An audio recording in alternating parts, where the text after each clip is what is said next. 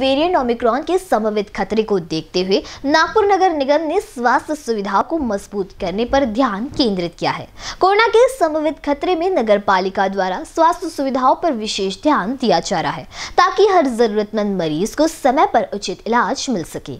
इसी के तहत राष्ट्र संत टुकड़ोजी महाराज नागपुर विश्वविद्यालय के श्री जमनालाल बजाज प्रशासनिक भवन में एक सौ निन्यानवे बिस्तरों वाला अत्याधुनिक कोविड अस्पताल स्थापित किया गया है। जिसका शुक्रवार को महापौर दयाशंकर तिवारी ने जायजा लिया। महापौर दयाशंकर तिवारी ने शुक्रवार को कोविड अस्पताल का निरीक्षण किया। इस दरमियान विश्वविद्यालय के कुलपति संजय दूधे, मनपा के उपायुक्त मिलिंद मिश्राम, चिकित्सा स्वास्थ्य अधिकारी डॉक्टर संजय चिलकर, डॉक्टर शुभम मनगते, दहेरकर आदि भी इस दौरान मौजूद थे।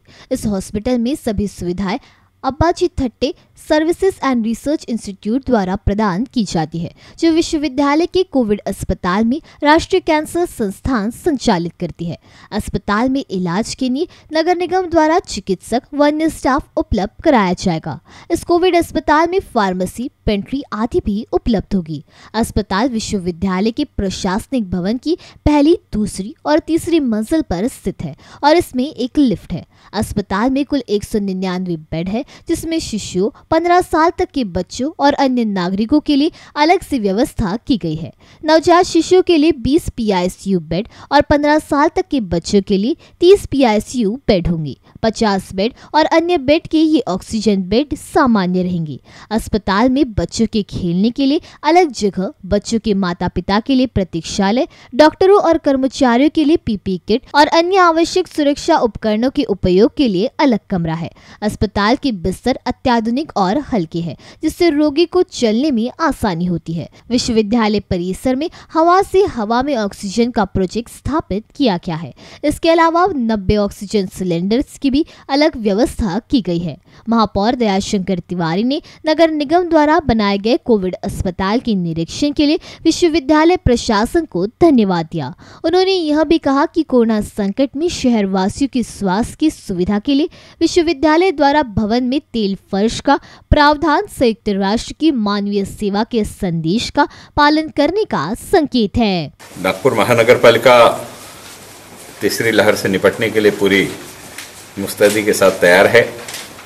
महानगर पालिका के स्वयं की यंत्रणा के जो दूसरी लहर में संचालित हॉस्पिटल थे, उसमें 450 bed, oxygenated bed with PSA unit पूरी की पूरी तैयार है। जब भी आवश्यकता पड़ेगी तत्ण हम उसे प्रारंभ कर सकते हैं और पेशेंट को सुविधा दे सकते हैं। उसी प्रकार से एक नया सेंटर 200 बेड का, इस राष्ट्र संत टुकड़ोजी महाराज विद्यापीठ की नई इमारत में हमने तैयार किया है। एक्चुअली हमने 200 बेड कहा था 199 बेड का यह सेंटर हमने बनाया है।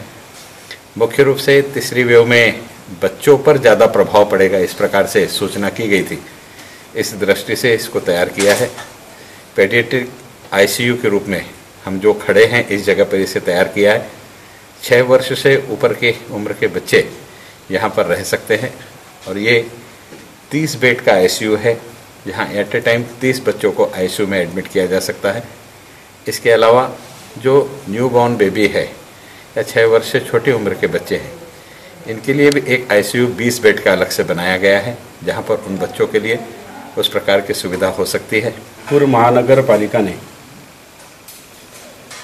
हमारे नागपुर विश्वविद्यालय को आने वाले समय में कोरोना की संभावना देखते हुए हमारे इस न्यू बिल्डिंग में 200 से 300 रुग्ण की व्यवस्था हो सकती है।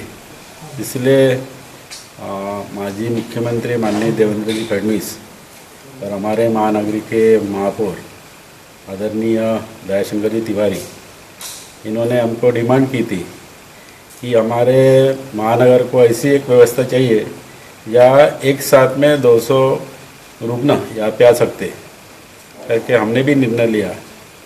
समाज की सेवा करने का ये मौका है, और उसमें हमारा भी सहभाग रहना चाहिए। इसलिए हमने ये व्यवस्था करने का महानगर पालिका को बताया। और महानगर पालिका ने पूरे हृदय से यहाँ पे हमारे तीनों फ्लोर पे आज 200 बेड की व्यवस्था की है। इसलिए आने वाले समय में हमारे नागपुर महानगर पालिका को ये चिंता नहीं कि कुछ कोरोना के पेशेंट हुए एक साथ, हुआ कार रहेंगे तो हमने उनके लिए हम- हमारी यूनिवर्सिटी पूरा दालन ओपन कर दिया है। कैमरा पर्सन राजकुमार मोड़ के साथ दिशा हटवार बीसीएन न्यूज़ नागपुर।